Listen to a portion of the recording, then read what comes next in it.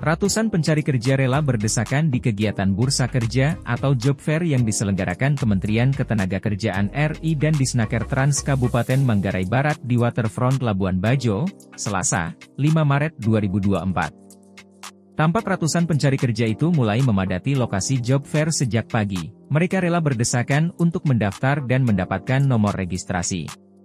Di lokasi job fair tampak sejumlah petugas kesehatan, panitia dan anggota Satpol PP yang mengatur para pencari kerja. Kegiatan job fair dibuka secara resmi oleh Wakil Bupati Manggarai Barat Yulianus Weng, sekitar pukul 11.40 WITA. Hadir dalam acara pembukaan itu Kepala Pasar Kerja Kemnaker, Muhammad Yusuf, Kadis Naker Trans Manggarai Barat, Terisya Asmon dan sejumlah pimpinan OPD. Karni Untel, salah satu pencari kerja mengaku sudah datang ke lokasi job fair sejak pagi. Karni sengaja datang lebih awal untuk menghindari antrian. Menurut Karni, job fair sangat membantunya dalam mencari kerja. Ia pun berharap kegiatan serupa sering dilakukan. Diketahui Kementerian Ketenagakerjaan menggandeng Disnaker Trans Manggarai Barat menggelar job fair selama tiga hari dari tanggal 5 sampai 7 Maret 2024. Ada 21 industri yang terlibat dalam kegiatan itu dan 100 lebih lowongan kerja bagi para pencari kerja.